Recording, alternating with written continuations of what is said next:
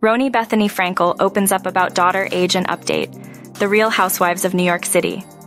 Alum on how life has changed for her with her 12 year old daughter since her last chapter.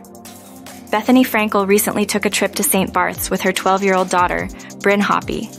While she was there, the Real Housewives of New York City alum reflected on her favorite turtle time. And it's clear that the phrase has a whole new meaning for her these days. How to watch Watch The Real Housewives of New York City on Peacock and catch up on the Bravo app.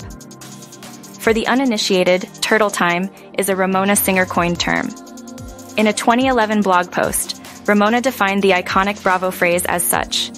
It means cutting loose, having some Pinot Grigio, and even dancing. Who doesn't like to dance and have fun? she asked. Fair point, but these days, Bethenny cuts loose in a different way. In a March 31st Instagram post, the Skinnygirl mogul shared a carousel of photos that showed her and Bryn on their tropical spring getaway.